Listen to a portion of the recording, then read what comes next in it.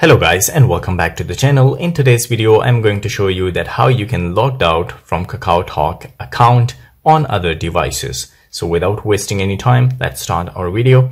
First thing, you need to open your KakaoTalk application. Once you open the application, all you need to do is to tap on the setting icon and then go to general settings. From there, you need to tap on privacy. So once you tap on privacy, you will find the manage devices option here. You need to tap on that one. And here, as you can see, I'm using my KakaoTalk account on iPad here on this device. So if I want to log out, all I need to do is to tap on the logout option and they will ask you again that are you sure? So you need to just tap on OK.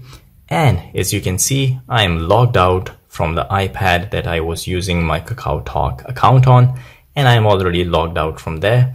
So guys, this is all it takes to log out from other devices you're using for your KakaoTalk account. If you liked the video, don't forget to subscribe. I will see you again in the next video. Till then, take care.